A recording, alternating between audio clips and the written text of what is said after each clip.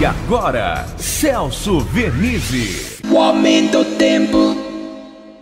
Olá, amiga, olá, amigo. Mais um dia de tempo instável. Ô, novembrozinho. A gente falava outubrozinho, ô, novembrozinho. Por enquanto, até o fim de semana, temperaturas aí mais baixas do que normalmente acontece no mês de novembro.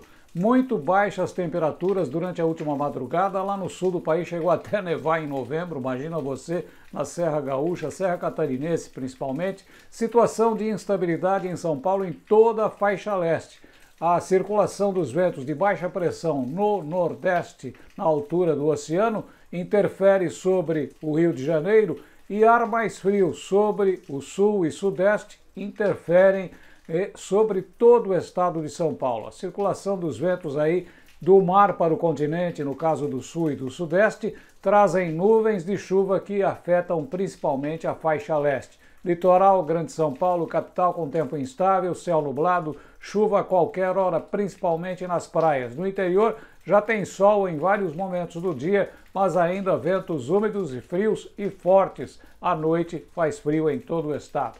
Um abraço a todos. O aumento do tempo.